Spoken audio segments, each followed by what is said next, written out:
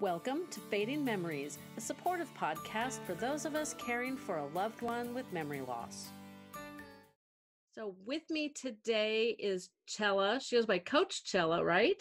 Yes. And she is with a company called Al's Notes, and we are going to talk about Alzheimer's and cannabis today. So, thanks for being with me today.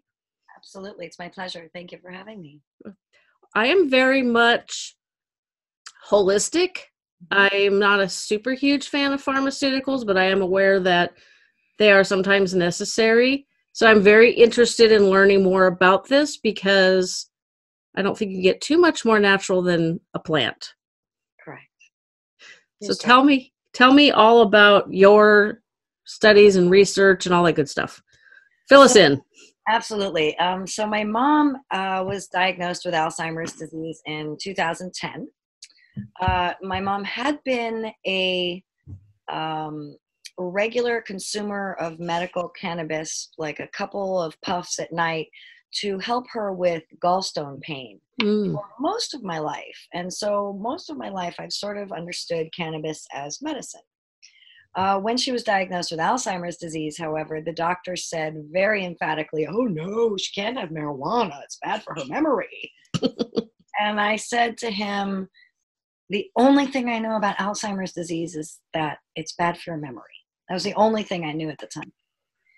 So he said, Yeah, well, she can't have it. And he proceeded to prescribe her all of the black box drugs that are so commonly prescribed for people living with dementia an antipsychotic, an anti seizure, an antidepressant, uh, an anti anxiety, all of which are off label and black box for people living with dementia. So, um, although I, um, although I went along with what they said at the beginning, um, we noticed that they didn't really work very well. They seemed to sort of increase her symptoms, but we weren't sure if that was the disease process or if it was side effects from the medication. It was after she was on all five of those meds at their prescribed dosage that she fell five times in three weeks. Oh yikes. And then she wouldn't get out of bed. So there was something she remembered is that she falls. So she wouldn't get out of bed for three more weeks, and I took family leave. The doctor said she could be having failure to thrive, and this could be it. So I'm like, oh God. So while we, I was on family leave, I was researching drug interactions uh, with cannabis, her prescribed medication with cannabis, because, and I also changed doctor. So while she was um, in bed for the three weeks, I was doing this research, and she says to me, Hey, I want a hit of a joint. And so I called her new doctor and I told her what was going on. And she said, Chella, she hasn't gotten out of bed in three weeks. Give her whatever she wants. So we smoked a joint together. And then my mom says, Hey, let's go watch TV in the living room. So we went out to the living room for the first time. She left her room in, in three weeks. And I went, Okay, this is obviously the right medicine for my mom. I went down to my local dispensary in West Hollywood, which we were so lucky because it was one of the real, true first early medical dispensaries called the Farmacy. Um, and they had this big bottle of olive oil that was infused with cannabis. Uh, now the regulations say what you have to know what's in everything and all these good things, which is great. But at the time, there were no regulations, and I had no idea how much medicine was in this big bottle of olive oil. I get my olive oil, I truck it home, and I make my mom a coconut milk based protein shake, which had done wonders for her, but not enough for her anxiety. So I looked at this bottle of olive oil, I looked at her shake, and I threw a tablespoon of this olive oil into her delicious shake, which was no longer delicious. It was horrifying. I it, I'm like, oh, there's no way this is going to work. I brought it to my mom in the living room. I set it down in front of her just like nothing had changed. I walked away. She drank the whole thing, no problem. Your taste buds change. Everything changes when you have brain change, as you know. hmm Um, so she took her first dose and um, she was just steady and just happy the rest of the afternoon. And it lasted like several hours. Um, and that's when we knew we were onto something. So I kept giving her a tablespoon in her shake, and sometimes it was a little too much, and so she got sleepy. But you know what? People living with dementia sleep a lot during the day anyway. So it wasn't like that side effect was a problem. It wasn't organ failure, it wasn't sudden death, which is the side effect profile for all the other meds that people are prescribed when they have dementia and they have aggression or agitation.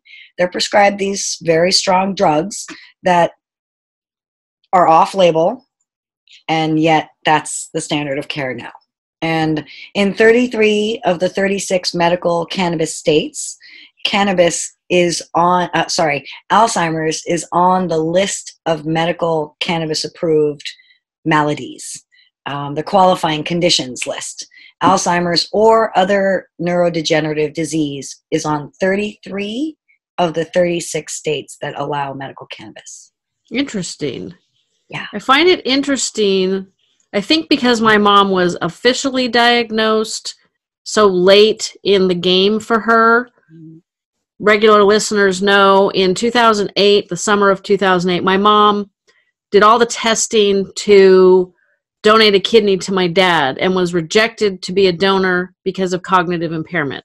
So I thought, okay, hallelujah, finally she's been diagnosed. We can stop pretending that this is normal. Right. Because she never admitted she had a problem. She she doesn't really admit it now, but it's she Okay. does tell me sometimes my brain doesn't work so well. It's just kind of hysterical when she says that. It's like, yeah, you think? You know, it's it's it's um, only 50%, like Teepa says, only 50% know that they have brain change. And it's easier when you're dealing with someone who knows that they have brain change. My mom, like your mom, didn't know she had brain change until she was medicated with cannabis and she would hear herself say things and then like laugh about it because she would be like, oh my gosh, that makes no sense at all. oh, I wish my mom could do that. My mom is at very advanced stages now. Okay. And when I was with her on Monday, she's chatting, blah blah blah. You can, uh, well, it's, it was an Instagram story, so it's gone now. But she's talking, and it, if you don't know anything about her, it all makes sense. Except all none of it made sense in context. Right. It was like, what are you talking about? it's just like I just sit there, kind of nod and agree, and Absolutely. you know what else is there to do? And then as soon as she kind of goes she'll say something like she'll pause and say well and i know right away she's about to ask me what have i been up to?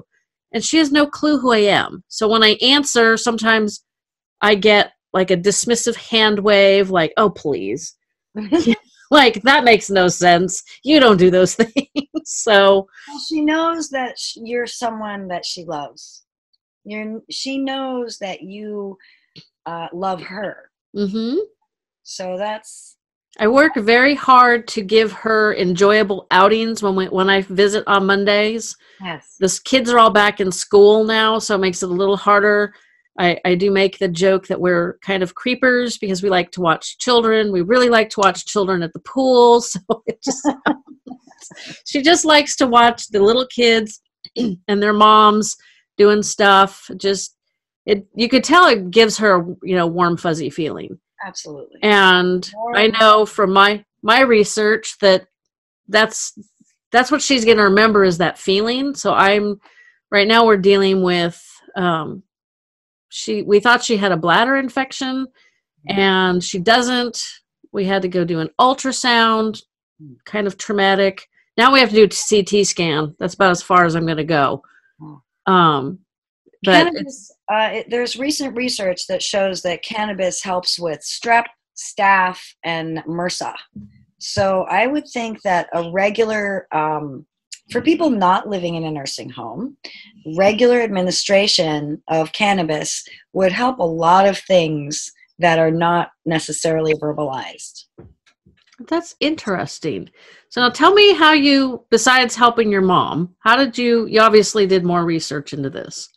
Yes, excuse me, I should have had this ready. Time out. Okay. Um, that okay. is a very large binder. It is a very large binder. So um, I was scheduled, we were scheduled to go to Sacramento with the Alzheimer's Association to lobby our Congress members. And um, in preparation for that, in January, I started to assemble all of the studies that show how cannabis helps dementia.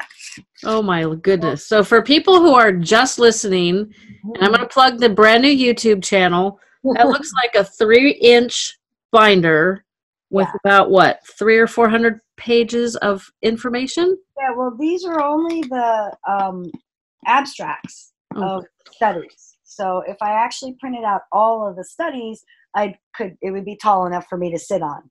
So that is impressive. So yeah, I was very lucky to be connected with people who have um, a print shop basically, um, and I was able to print all these studies out on their uh, through their sponsorship basically. Um, and uh, because you can say to people all day long, oh, there are tons of studies, there's tons of studies, and they always come back to you and say, oh no, we need more studies, we need more studies, and that might be true for something like cancer. Um, or the MRSA thing or the staph thing or the strep thing because there are other options for those things. There are no other options for people living with dementia. That is very true. And the medical establishment takes 25 years to adapt to adopt new information into their regular practice. 25 I'm in trouble. 25 years is far too long for people living with dementia and their families to wait for for this protocol for this to come online. And like i was saying earlier 33 of 36 states have alzheimer's or other neurological illnesses on their list of tyranny their qualifying conditions list. So if if your state doesn't have it on it start lobbying your elected officials that other states have it. You know, at least 15 have Alzheimer's specifically on their list. The others have other neurodegenerative diseases or Huntington's or Parkinson's or MS. Um, so we know that cannabis is really great for the brain. Our body has a system in it that is not taught in most medical schools. The endocannabinoid system is the system that affects all other systems of the body. I would think that's a pretty important system for doctors to know about. It's, yeah. it's as though they don't know about the nervous system. It's that important. So I'm hoping that more medical schools are going to start teaching the endocannabinoid system. Because we have this endocannabinoid system, we make endocannabinoids in our bodies. Um, one is called anandamide, and the other is 2AG. Those are endogenous endocannabinoids. And the others are phytocannabinoids, which you get from cannabis. You can also tone your endocannabinoid system with leafy greens of all kinds, regular exercise, quality sleep, singing, dancing. It's similar to endorphins, but it's not endorphins. That's very interesting. Because Yeah. they do tell you they've, they've kind of backed up a big step with Alzheimer's prevention or cure since they can't find one of those. Is now they're talking about lifestyle choices, and you know, it always comes down to what you eat and how much you exercise. So um, There's no shortcut to good health. that is true. I know. You have to eat vegetables and lots of them. You have to not eat sugar. You have to not have alcohol. You can't do things that inflame your systems and expect to have efficient systems. So, since there is no cure on the horizon, since cannabis is still on the Schedule 1 of drugs federally and cannot actually be studied well in the United States, additionally, when there are studies in the United States, there's currently only one provider of study drug, but that is literally going through the courts right now. That could change soon, or it may not. But there's only one provider of study drug, that's the University of Mississippi. They grow the poorest quality cannabis possible. They obviously do not care at all. They just throw it in the ground and that's it. And what happens. Um, and when they provide the study drug to researchers, they throw it all into a hopper, grind it all up seeds, stems, leaves, and flower all in one, and then ship it out to be studied. So it makes perfect sense that those with anecdotal stories of flower that they buy at a dispensary, like say in California, where it's you know regulated in most cases. Um, we still have an unregulated market, but in most cases, people will buy from the regulated shops a tincture or flower. There's so much more medicine in this product than in the product provided by the University of Mississippi. So when people say, oh, you know, there's no studies, in a way they're right that there's no studies because there's no studies with the flower that people are actually buying but there is a lot of anecdotal evidence. There are multiple facilities in Northern California using cannabis medicine, full flower cannabis medicine. Most of them use a one to one preparation. And what is meant by that? It's CBD to THC. I'm sure a lot of your listeners uh, have heard about CBD, it's all the rage now. Uh, CBD can be helpful for a lot of people. It's great for anxiety and insomnia. Uh, doctors are saying, though, that people living with brain change and dementia really need a bit of THC in their medicine. Um, this so back to the endocannabinoid system. Uh, there are two different receptors within the endocannabinoid system: CB1 and CB2. THC, the psychoactive component of cannabis, is a lock with CB1 receptors, and CB1 receptors are in the brain. Ah. Very few in the rest of the body. CB2 receptors are throughout the whole body, very few in the brain. Interesting. Very interesting. So the CBD uh, really works very, very well on uh, pain without throughout the body. Like your mom might be in pain that she's not able to express, and if she takes CBD, it'll help relieve that pain, and she might have a more pleasant day. Um, THC for my mom was super important because my mom was really, really agitated. And CB, uh, sorry, THC works very, very well with agitation in people living with dementia. In my book, my favorite article um, this one by Dr. Ethan Russo uh, in Frontiers in Integrative Neuroscience called Cannabis Therapeutics and the Future of Neurology has a section specifically, it talks about all the different things cannabis and epilepsy, cannabis and brain tumors, cannabis and Alzheimer's disease is, of course, my favorite part. And it's the longest in the article. And um, it specifically tells you which um, elements work with which. So, like agitation is helped by THC, CBD, and the terpene linalool. Anxiety, CBD, THC in low doses, and linalool. Um, so you can check that out. Uh, all the that different. Does, that doesn't look like an easy read. it's a really easy read. It oh, really is it? Is. Yeah. Okay, I wrote it down it's not um, you know there's some jargon but i mean i would think that people listening have read the 36 hour day and are doing some research and are listening to some stuff. And anything that's too complicated i just skip right over. You know if it's too doctory or sciency i just skip right over that. I go okay that brain chemical whatever it's called abba gabba dabba dabba dabba dabba okay that brain chemical i just submit uh, you know substitute for what i need. I'm not a doctor i'm not a lawyer you know, I'm not a social worker. I don't have any letters after my name. I professionally, I do props and set dressing.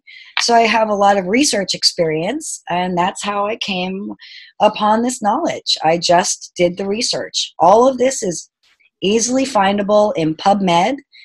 Um, is that a website? Yeah, PubMed is where all the doctors post all their um, studies and their um, abstracts. So PubMed, if you type in, you know, cannabis and dementia, you'll get a bunch of studies that'll come back. Um, on my website at alsnotes.com, you can find links to pretty much all the studies in this book that I have here. Um, you can also find a lot of links and information at a website called projectcbd.org. That's a really great resource. Um, I also highly recommend, if no, if people haven't read it yet, the 36 Hour Day. I and that one. Right, good. And back to uh, prevention and what we can do. There's a great book called The End of Alzheimer's by Dr. Dale Bredesen that came yep. out. I got that one too. I love it. I listened to it on our road trip when uh, when we met you and I. So and you drove all the way from Southern California to little tiny Brentwood to see Teepa yeah. Snow. Yes, I actually went to Santa Rosa first to see Teepa Snow there. And then I went to little tiny Brentwood to see Teepa Snow. And we actually got an interview with Teepa Snow. And she was talking about how cannabis helps dementia. Awesome. So soon we'll have that posted on alsnotes.com. Um, if anybody wants more information um, on top of that, they can go to edcan.tv. Uh, that's where we post all of the videos that we run around collecting uh, of doctors talking about how cannabis helps dementia. So, so that's EDCAN TV? Edcan.tv, yeah. Okay, okay. Yeah, that's where the longer format ones are. I try to post the shorter versions on Al's Notes, uh, but the full format um, talks by doctors are at edcan.tv. Oh, good. More things for me to watch and oh, listen to. So, oh, the nice uh thing about these things is that these things will help today. Cannabis will help even your mom where she is today. Is she in a nursing home or assisted living? She's in a memory care residence. So it's more assisted living, not. Yeah, well, yeah, it's mem- yeah, um, it's the whole community is assisted living, but then they have the memory care that's you know the lock in. So that's awesome um, because assisted livings in California do have a protocol to use cannabis medicine. There's mm. a great uh, facility in Santa Rosa that has been using full flower cannabis medicine for 15 years for people living with dementia. It's called Primrose. Okay. And they don't smoke it. It's um, oils and edibles that, that they administer to their patients. There's protocols that are available um, if the assisted living wants to ask Primrose, or there's another one in Petaluma, I don't know the name, uh, but I will soon. So I'd be happy to give you that information in the future. But it's totally doable in assisted livings. It is not doable in nursing homes currently, which is to me unconscionable because these people are the ones on their way out. Yeah. It's um, not like marijuana is going to kill you. It really isn't. We know that for an absolute fact. Um, the there is a um, assembly bill moving through, I believe, uh, I believe it's 305 uh, in California that will guarantee medical cannabis access to people wherever they are if they are in hospice within six months of their death. Which it's crazy that you have to wait for the right medicine to six months before you're dying. Yeah. Yeah. I mean, I, um, they give you all these pharmaceuticals that can kill you or cause all these other problems. I started to say when my mom was diagnosed, I don't think she's ever, I know she's never been on any of the antipsychotics or any of that stuff. She's never been hostile or, I mean, she's probably anxious. I'd be anxious, but, um, you know, my dad before he passed away was on, I don't know, like 20 or 30 drugs. Mm. And it was like, you didn't even know what this cocktail is doing to you. yeah, polypharmacy in people living with dementia and older people is a real problem. And cannabis is beautiful because it, it it's such a complex plant. We obviously don't know everything that it can do, but we do know it does lots of good stuff. It's really great for the brain. The brain loves cannabis, and maybe the reason they haven't found any progress with Alzheimer's and dementia is because the brain is so complex but since we know cannabis isn't going to kill you, why aren't we loudly from every rooftop shouting that people living with dementia should try this as a first line medicine? Yeah, because I would assume if you started it when maybe before you even admitted to yourself, but you were suspecting you had a problem. Like I have a friend at the gym used to know all the second cousins, like the the little kid, teenager cousins in her family. She's older than I am. Mm-hmm. All their names. Mm-hmm. And now she doesn't remember all their names. Mm-hmm. And she doesn't have the typical um, memory loss that affects daily living, but not remembering people's names that you did remember a couple years ago, to me, that's not a good sign. It's not a good sign. Like in Dale Bredesen's book, he says, get a cognoscopy. Get get your baseline cognoscopy early on, like in your 40s, so that you know where you're starting, so that you know what might be considered on their scale as memory loss may be like severe memory loss for you so it's important to know where you are. Um, speaking of what you were just saying, in this article, um, the reduced amyloid beta plaque formation is one of the benefits of cannabis. Um, and THCA is the acid form, the raw form of cannabis. So THCA does not make you high. If you have access to the leaves, throw the leaves in your smoothie or in a salad and eat the leaves because that's good for you. Hmm. So you can reduce amyloid beta plaque formation by taking it as a preventative, I believe, and I am counting on it. Well, now so, I'm like getting yeah. a little bit more intrigued because, as the regular listeners know, my mom has early onset or younger onset Alzheimer's.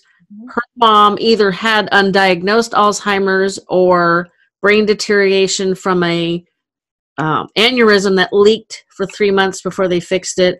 And my maternal great grandmother also had senile dementia. That's what they called it back in the day. Um, she passed away before I was born. So I just know of her issues from family stories. So that's yeah. not really a great family history. Yeah. Um, I do take after my dad more, and my dad's side of the family has a lot of diabetes. Okay. It's all men. Okay. So many years ago, I finally, well, I had a client that said, well, you're overweight, you have a family history of diabetes, you're screwed. Well, pff, those were fighting words. so I, it took a long time and a lot of effort to find what worked. I lost 100 pounds. I kept 90 of it off for like three years until I hit 50. Now I got to lose another 20 again, which is really frustrating, but really, you know how to do it. You know how it's done. I have a great acupuncturist in LA. If you ever come my way, he he treats with diet, but really, have you considered um, seeing one of Dr. Bredesen's trained doctors? Um, there's a lady I know in LA here who does virtual counseling as well, Dr. Anna Lee something.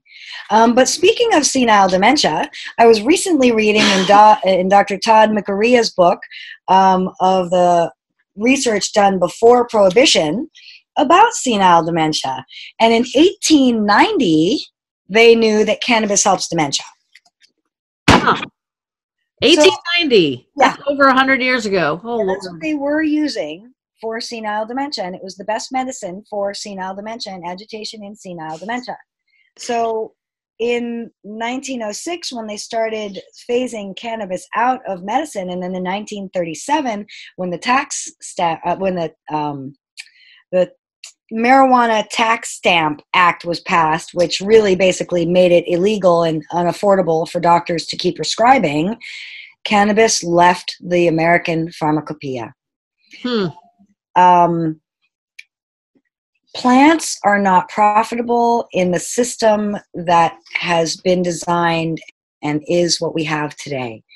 So they need to change the system which systems don't like changing and I don't care about the system. I don't care. I'm not a capitalist. I don't I'm not invested in these people. I don't care. All I want are people living with dementia to have a better life and I want their families and their loved ones to have a better life too. So to me, I'm just shouting from every rooftop and saying to anyone who will listen, cannabis helps dementia. Start now, prevent it.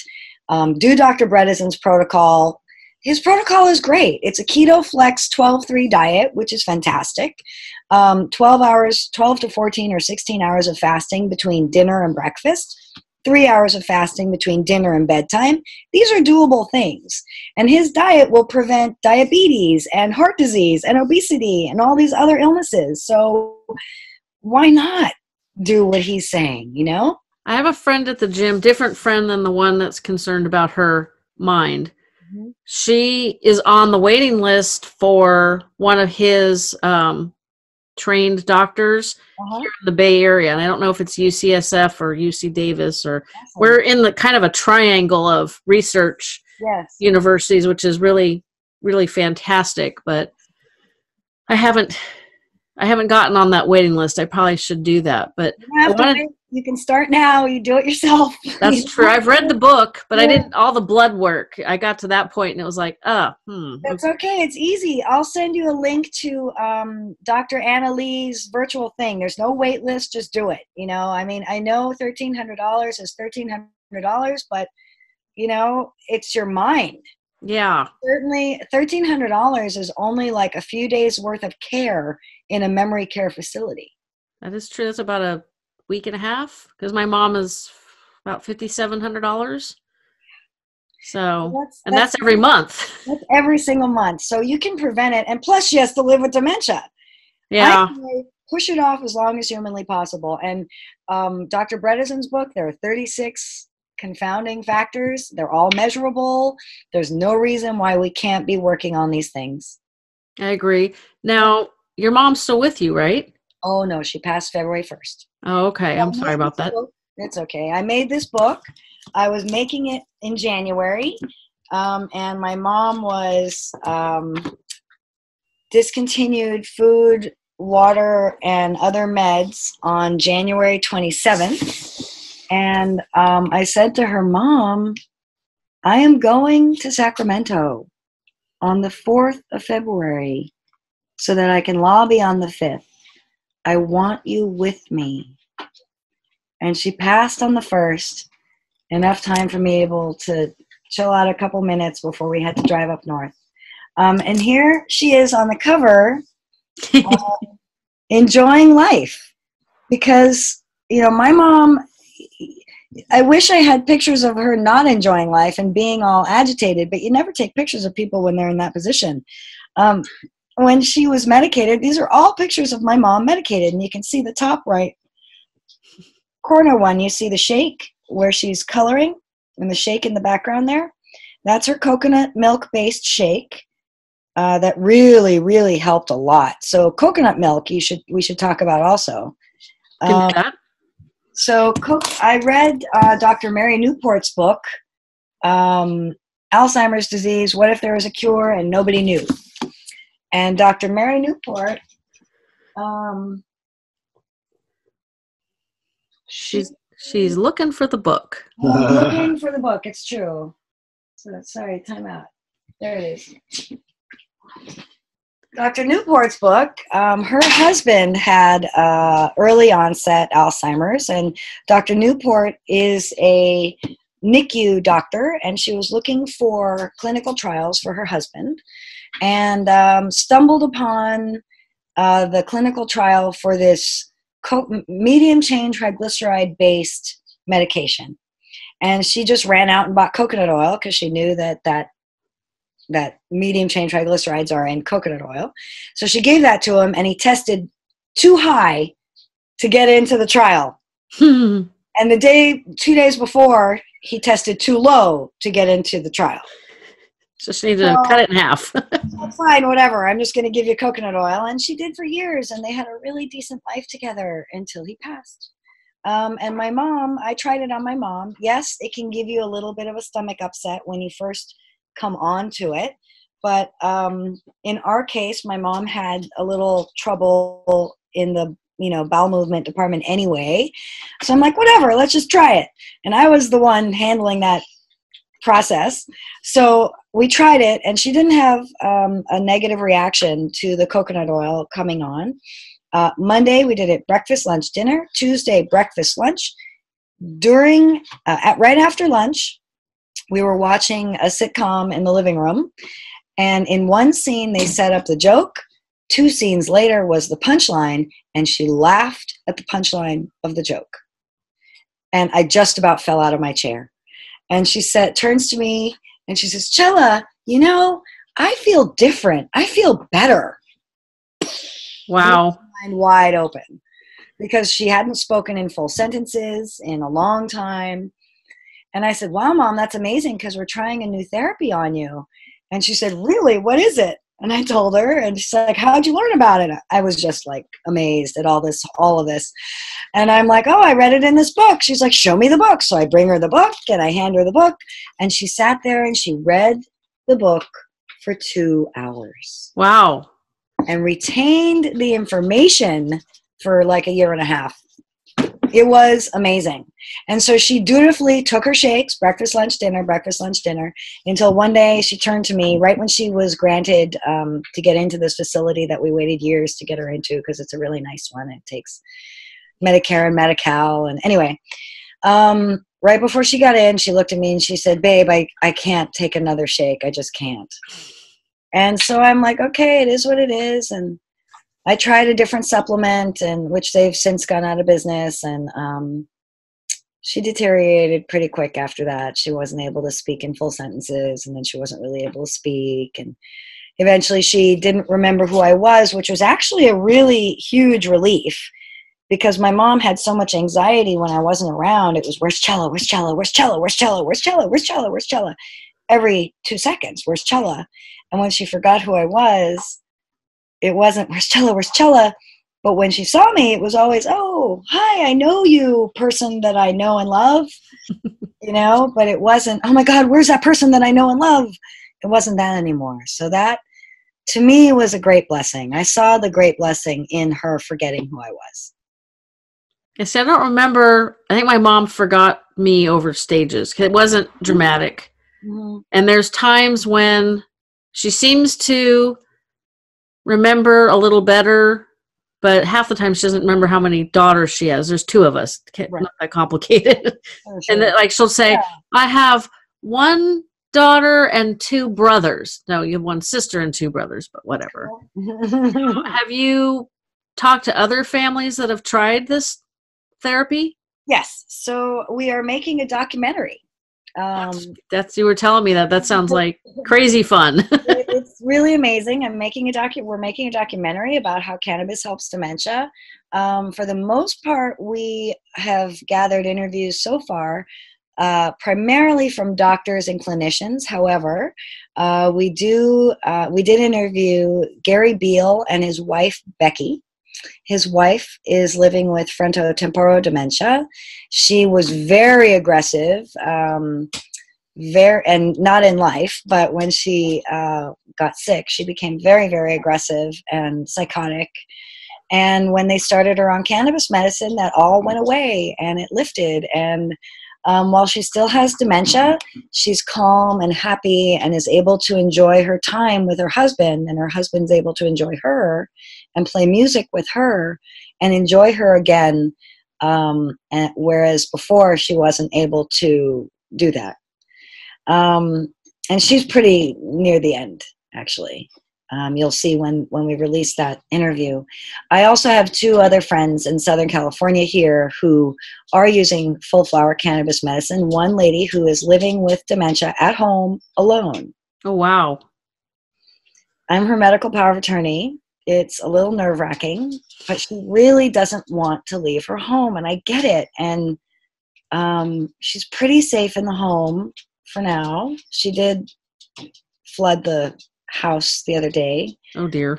By letting the water run. Uh, but she doesn't cook and she doesn't wander and um, she really doesn't want to move to a facility. So I'm trying to respect her dignity, especially after my mom's uh, stint in the facility was such a nightmare. I totally understand um, that people want to stay where they want to stay. So, Carolyn, um, after learning the protocol that the doctors are using up north, after doing these interviews with them, we learned that they're using in facilities one to one CBD to THC, 10 milligrams, two to three times a day.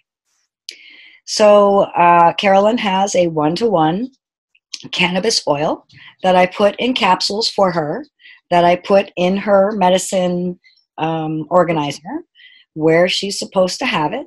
She has it most of the time. And if you didn't know her, you would not think she has dementia. That's when really interesting. Yeah, uh, when she's ta- when the home uh, when her long term care insurance nurse came to meet her, she was like, "Really? She has she was diagnosed with Alzheimer's? Yeah, she was diagnosed with Alzheimer's, and obviously her medicine is too darn good that she does too well in social chit chat. Um, she does really, really well um, on this medicine. It's really a blessing." Uh, the other lady, um, she is 96 and um, has not been diagnosed with a specific type of dementia. Her family just calls it senile dementia, um, which is fine, whatever. Um, but she is aggressive. She's always been aggressive um, and mean, mm-hmm. and now meaner. Because in my ex- limited experience, dementia just makes you extra of what you were before. So she's meaner than she was before. Um, and we were having a little trouble getting her dose right. And after I did these interviews with these doctors, I mentioned it to my friend who it's her mother, uh, and she increased her dose uh, to 10 milligrams, which was still not enough. She was still really mean. Uh, and now she is on 45 milligrams divided in two. So twice a day. She has like 22 milligrams in the morning and 23 milligrams at night or in the afternoon. And that just keeps her happy and regulated and not mean, you know? Yeah. Well, we had an incident where my mom lives. Mm-hmm. A gentleman freaked out because he couldn't get a hold of his wife, mm-hmm. knocked over another resident mm-hmm. whose hip got broken. Oh, God. Oh, it got worse because the guy that. 50 him? Um, I'm not sure what happened with him. It's a little interesting. I know all of the details because I know all of the people involved. The right, gentleman right. that got knocked over passed away four days later. Wow. So the gentleman that freaked out is no longer in the same community with my mom. Of course. Which, okay, I don't have to worry about my mom, but I also know the situation with his wife and he was in a different community before and they should never have taken him. They couldn't handle him. He used to be an ultra marathoner oh wow. because this guy was really super private. And so he needed he needed like a dementia village where he could roam and be outside and whatever. Yeah but how many of those are there? In the united states there are zero. Well actually there's one in san luis obispo. Is there really? Oh i'm going down there. So my husband and i's long-term goal is to open a string of plant based assisted livings for people living with dementia. Uh, we want to incorporate Dr. Bredesen's protocol and cannabis medicine. I think that is aces. And the, the village concept would be fantastic. But that's my, my theory, and I'll throw it out there for you. Maybe I'll have to get involved with that. Um, is you have the village, and then like next to it would be a preschool, elementary school, so yep. that the kids could then go to the village and have their secondary grandparents because that's yep. so beneficial to all three generations, even the parents that are not with the kids or the or their parents. Absolutely. And you could have support groups and other like activities is not necessarily the right word at the village so that it's not some scary institutional place. 100%. My mom went to an intergenerational day program called One Generation here in LA and it's award winning, it's incredible and that's exactly what it is. So, yes, the intergenerational thing is such an important part of it like you say, so it's not this scary horrible like institution facility. You know, these are people living with dementia. They're still in there. Mm-hmm. Still people living with dementia so we should treat them as such. Even people with no means, even people on Medi-Cal, on Medicaid, should they're still people. You know, yeah. at my mom's nursing home, which was a Medicaid nursing home, there are eight to thirteen people living with dementia for every one CNA. Ew, that's a little.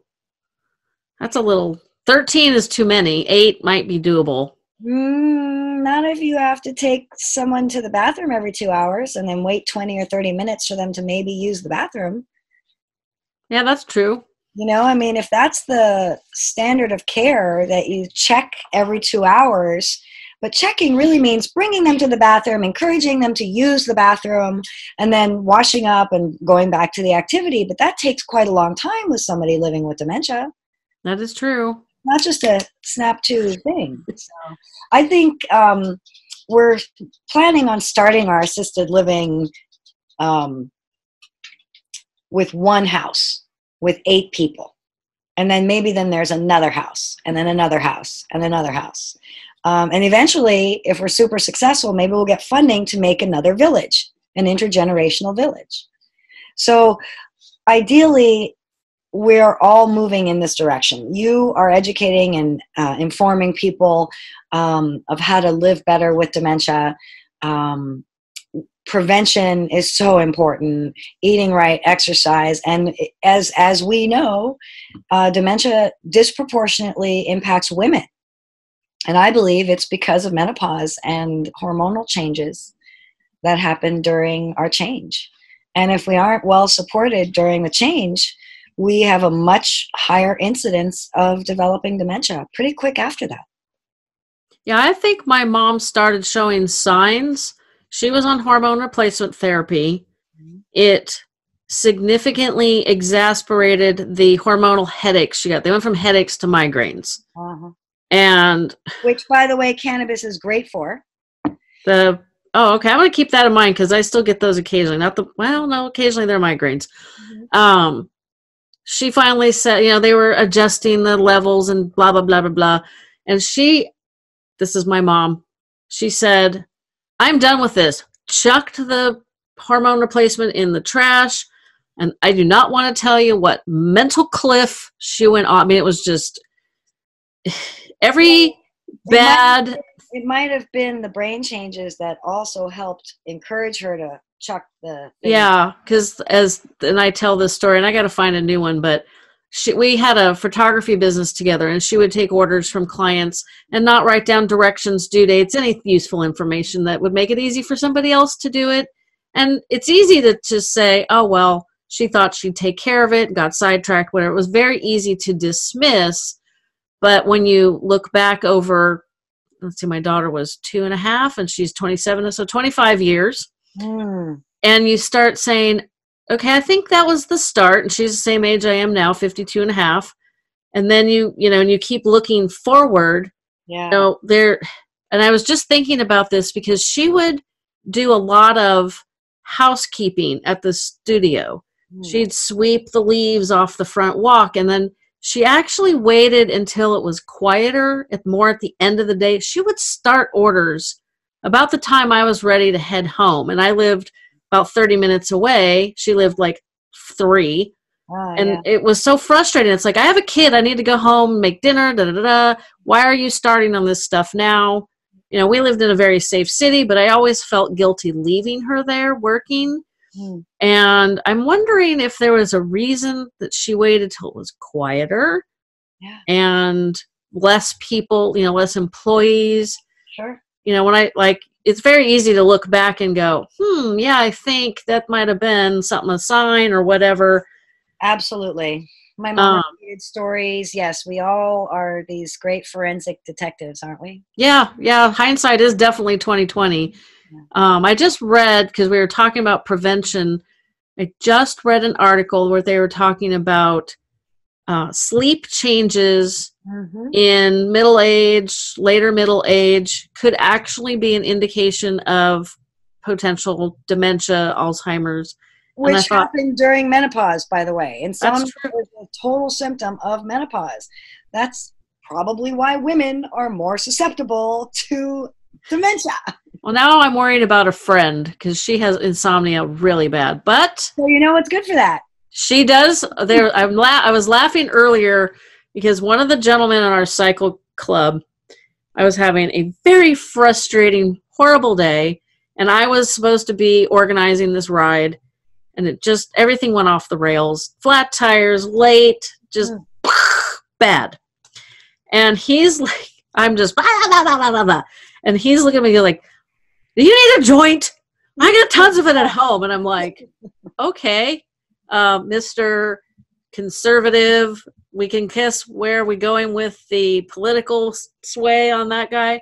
And I was just like, no, no, no, I'm fine. Because one, Cannabis crosses all political. apparently, because he was like, Oklahoma has the number one medical cannabis law in the country and the fastest growing market, second only to Florida. Florida. I don't know about that state. I'm telling you, they will be much better off when they're all using cannabis. That's interesting. Well, it turns out that he had given a fr- the gal that has insomnia.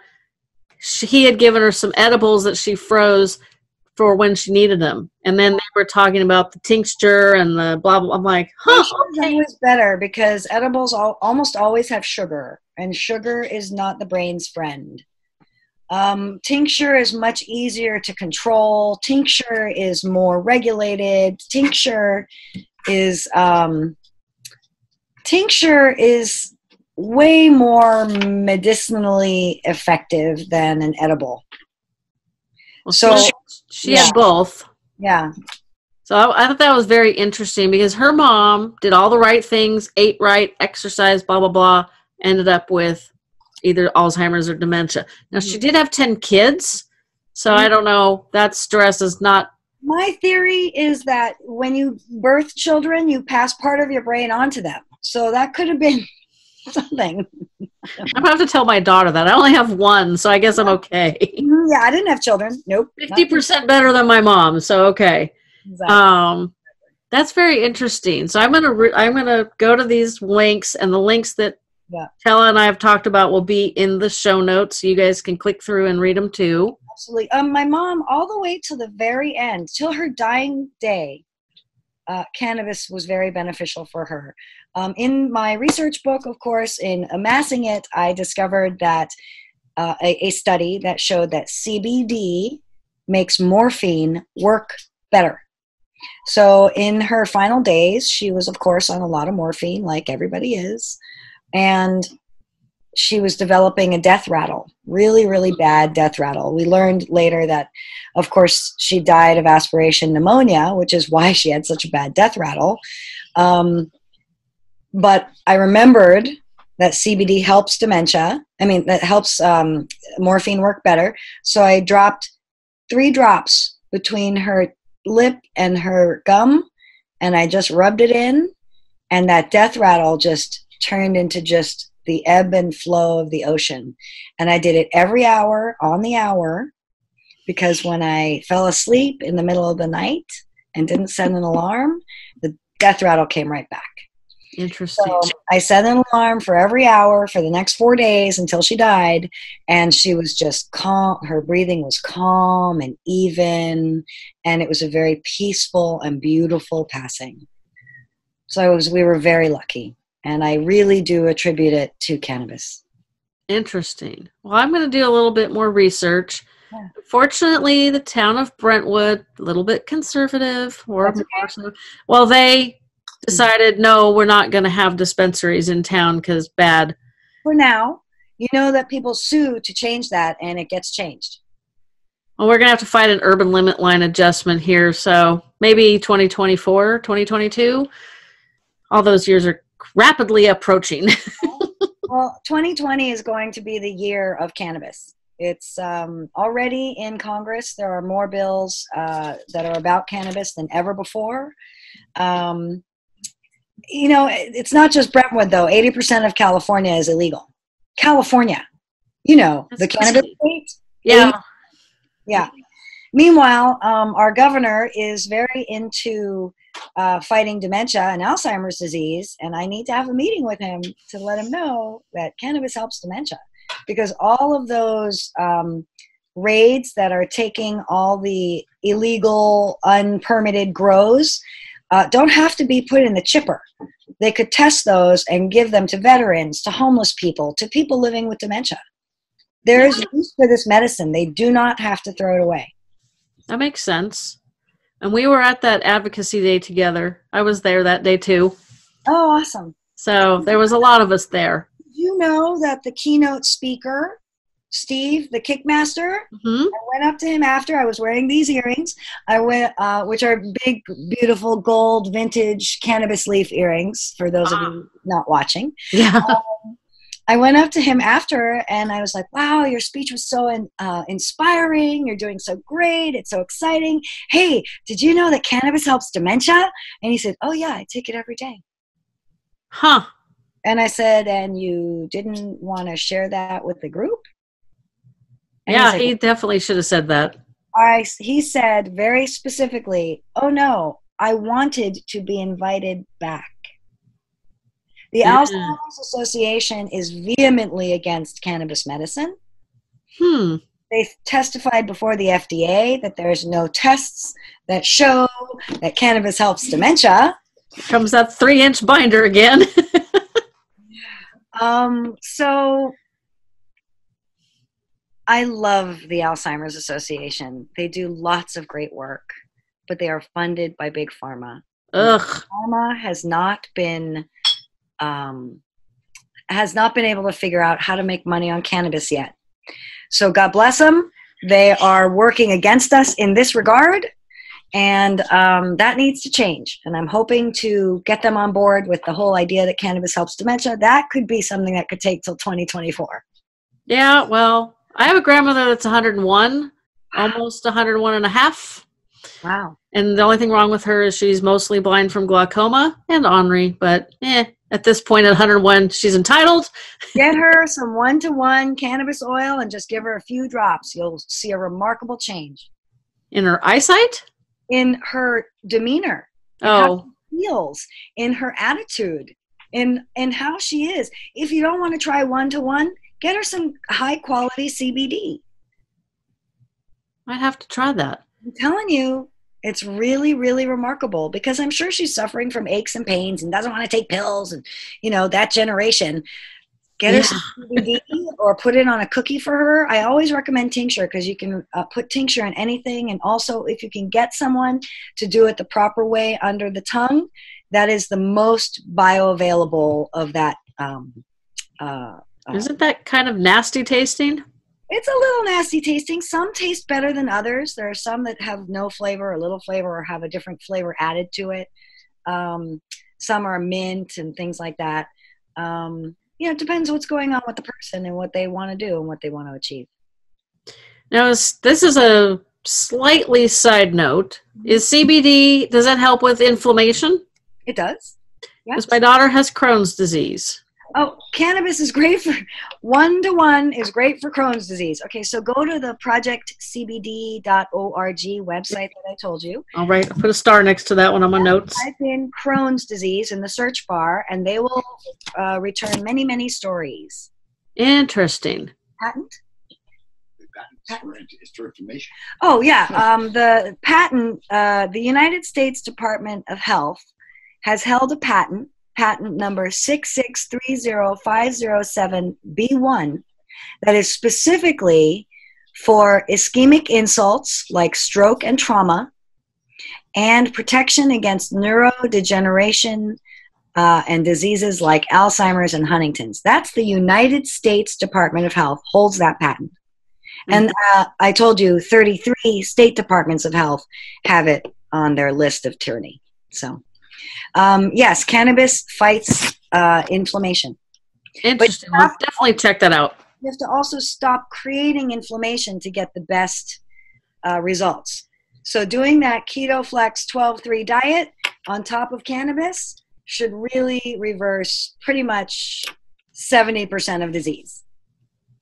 The the diet part might be the challenge with her, but we'll see. She I'll- want to feel better? Well, she's on a infused medication every six weeks, so that she read the side effect profile and what that's some doing of it. to the body? She needs to know what she's taking. She Yeah, they took her off the stuff that is bad for your liver because she was starting to show signs that the liver might be affected. cannabis has zero effect on on the organs. Zero negative effect. Zero negative effect. So I hope that she will do the research and titrate off of the garbage medicine that is killing her and onto medicine that won't kill her. If she would like to find a cannabis doctor that is skilled in cannabis medicine, she can find one at the Society of Cannabis Clinicians website. Um, and that website is cannaclinicians.org. This has been super fascinating. I think I spelled that wrong, but uh, I know how to spell it when I'm typing it. C A N N A, Canna Clinicians, C L I N I C I A N S dot O R G. Oh, nope, I got it right. That will be. That's yeah, because my one concern for her is that she started on the infused medicine at 24 ish. She graduated from college five years ago. Yeah, so about four and a half, about yeah, about four, a little less than four years ago. They, you know, it's she goes to the infusion clinic where the cancer patients get their poisons that help help cure cancer. I think. No, just poisons them more. Cannabis cures cancer. I'm not a doctor, but I have seen. But you play one on TV. I've seen, but no, I teach doctors about cannabis. I just find it, you know, like we have, a, you know, th- four three by sixteen foot garden boxes, Mhm. all organic. I Mhm. make my own bread.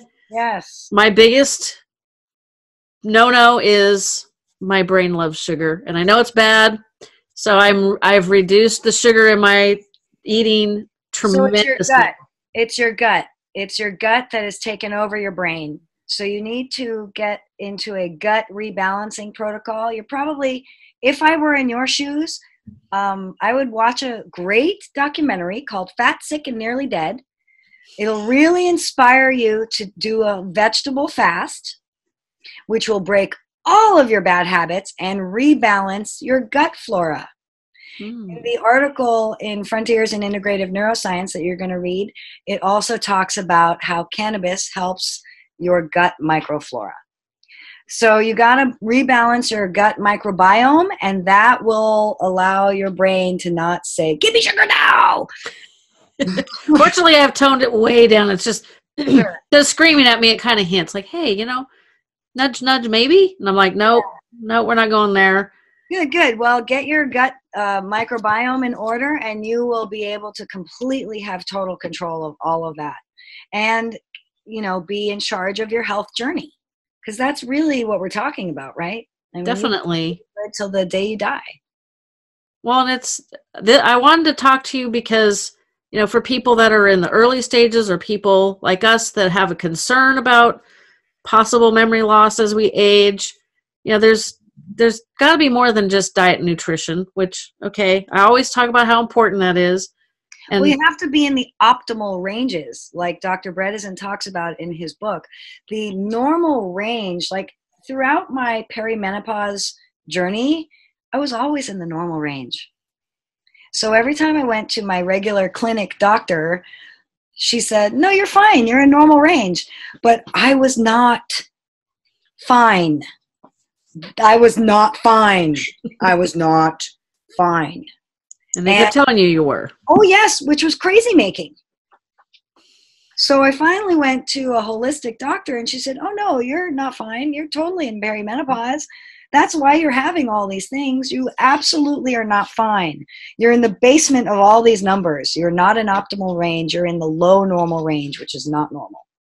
So I learned a lot through that journey. Um, like, you know, find a functional medicine doctor if you can. um, uh, and right now is to find a dementia friendly doctor for my mom so that I don't end up killing somebody. well, I think that you too will benefit from CBD. Actually, a one to one would be really great for you, also because of the what we talked about, sweeping away the amyloid beta plaques and all that. Also helps through the change. Helps with insomnia. It helps with all the things. So go to the next city over that has a dispensary and get. I Uh, I have to go all the way to Oakland. okay but you know there they have some really good dispensaries and some of the top uh, most uh, efficacious brands are uh, care by design mary's medicinals and um, papa and barkley They all are very consistent and very good brands. Um, buy one of their tinctures. I uh, Papa and Barkley has a really cool dual pack of a high CBD one that's a 30 to 1, and uh, the companion is a 1 to 30 that's very high in THC.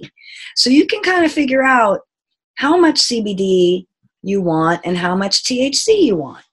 So um, others are pre-made like one to one, eight to one, 15 to one, 30 to one. Um, people who operate heavy machinery and things like that want a 30 to one, CBD dominant. Um, people who are fighting insomnia and trying to normalize some numbers probably want something closer to one to one and smaller dosages, maybe.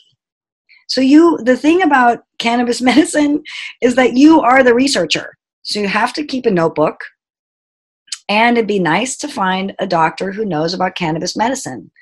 Uh, you live in a, an area where you can get to a lot of doctors who know about cannabis medicine, but not everybody does. So I believe that.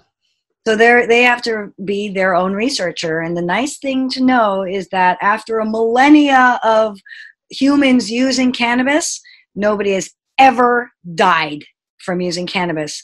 And not even in all their scientific uh, studies of trying to kill animals with cannabis have they ever been able to kill an animal. That's just fascinating because yeah. I've always, always felt that Western medicine is not the way to go. You know, if you get hit by a truck, you know that's that's a great you know option western medicine you know get you right in there and see what you can do for that trauma. But for chronic long-term issues it's all diet exercise sleep and stress. It's and you got to find ways to manage those things and and fix your balance within yourself. So you know it's complicated. You can't just look to a doctor to give you a pill to fix you. That's just not how it is. They're practicing medicine. You have to be involved in the practice as well. I, mean, six leading cause of death are doctors. God bless them. so um, they're practicing, and so I love that you have your garden and that you make your own bread. I mean, it's fantastic. So um, more power to you. And I know that you're going to lose that 20 pounds. You know, check out Fat, Sick, and Nearly Dead and go on a vegetable juice fast, and you will probably just do it right then and there. Mm, that is definitely worth a try. I'm just I am not the kind of person that likes the same thing. I had a I had a little stomach tweakiness the last few days. I had scrambled eggs and rice mm-hmm. like three times in 48 hours. Like no more. It's medicine.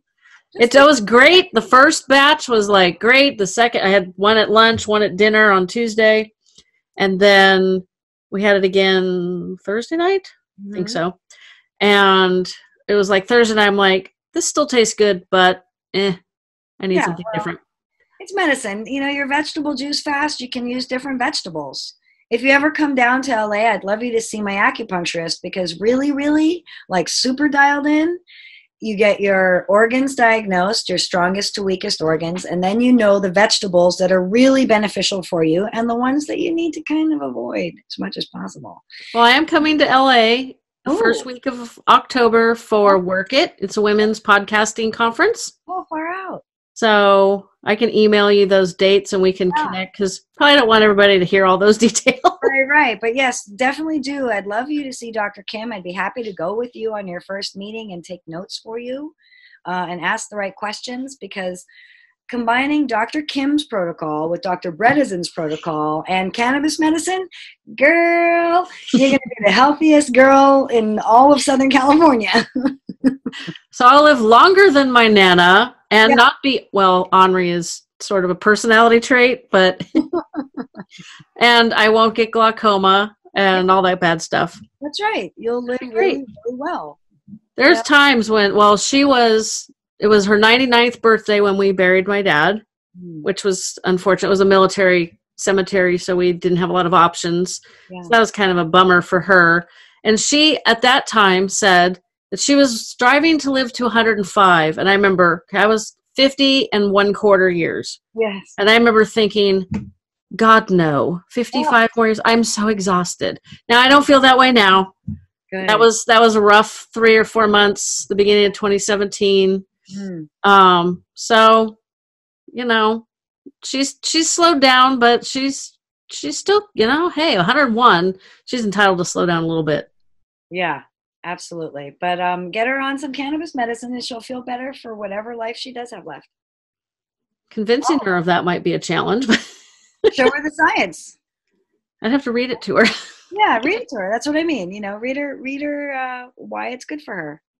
You know? it's definitely worth a shot. And then get her on it, get mom on it, and just Or oh yeah, you know what? Um, well, she doesn't have dementia or anything, so you know that that's all right. Anyway, you what can was he suggesting? that we should you should play her my interview with Dr. Russo. That's on my website at alsnotes.com. Uh, under plant-based education, you can find most of the good stuff. Okay, well, I'll definitely check that out. I have some computer work to finish up this morning or this afternoon, and I know you got to leave shortly, so that's probably a good place to to end because it sounds like we could talk about this for hours. We could. Anyway, yes, we could talk all day. Yeah, sounds like it. well, I very much appreciate this, and I'm going to check out all these links, and they're all going to be in the show notes so everybody else can check them out. Perfect. And then hopefully we can hook up in October and meet again in person That'd be great. on your end of the state. yes, that would be great. I'd love to see you again. All righty. Well, thank you so much. Thank you, Jennifer. Well, you've made it to the end of yet another episode. I hope that you really enjoyed it. Also, be sure to follow me on social media if you're not already. Facebook is Fading Memories Podcast. Instagram is at Alzheimer's Podcast. I hope you guys check me out and I look forward to seeing you online. And as always, I'll be in your ears again next Tuesday.